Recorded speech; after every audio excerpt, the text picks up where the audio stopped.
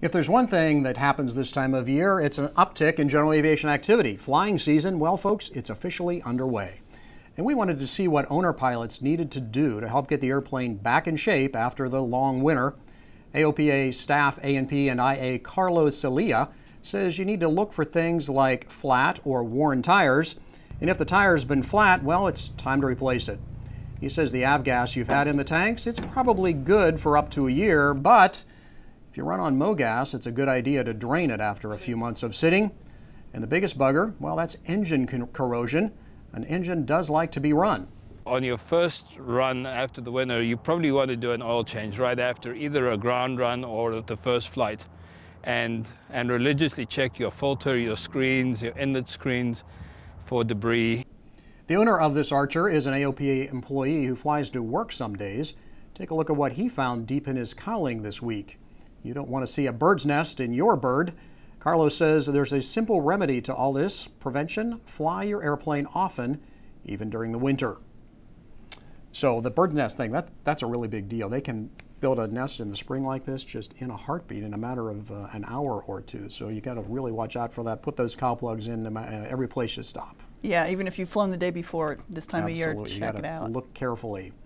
And hey, you don't just want your airplane to run well, you also want it to look great as you show up on the ramp this summer. I had a chance to learn how to get my airplane clean and shiny again. Nearly 30 years after its last paint job, the finish on my 1972 Bonanza had lost some of its luster, mostly from when it had to sit outside for a couple of years. With an engine overhaul nearby, my airplane checkbook is not ready for a paint job yet, so that left me asking what I could do to bring back some shine and that is where Bonanza expert Adrian Eichhorn came in. Adrian has a technique he regularly uses to bring the shine back to older airplanes. To start, you'll need an orbital buffer with a wool pad and some 3M Perfect Finish compound. I set the material on the surface and then I'll generally turn it up on about a 30 to a 45 degree angle. So you're using only really a portion of the pad. And again, you got to think of the direction that it's turning and keep that away from edges and sharp areas so it doesn't grip and get ripped out of your hands. So um, in this case, we're running at about 1800 RPMs, and I'll just start gently by turning it on and going back and forth in one direction and then 90 degrees to that in the other. Because the pad is turning, um, that'll help remove some of the scratches and the, the swirls that come in it. So just start gently. Work it back and forth. So I'll take a quick break and I'll look at my surface and what is really helpful when you're doing this is to have some ambient light that can reflect and show much how much oxidation was removed on the first pass. And this actually did a pretty good cut. And now when you hear my hand going across here, there's hardly any friction sound whatsoever versus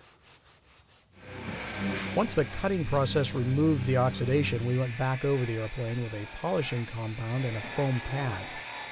The process is topped off with some wax to bring back some more shine and to protect the paint. Takes a lot of elbow grease, but all that hard work will leave your airplane looking shinier than it has in years. One extra tip, protect the hangar with some drop cloths as the orbital buffer can send the compound all over the place, not to mention the dust from the oxidation. And by the way, you can buy the 3M products at most any shop that sells car restoration products.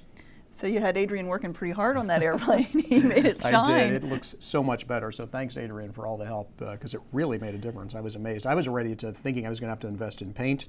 I can put that off for a few more years now because it looks really nice.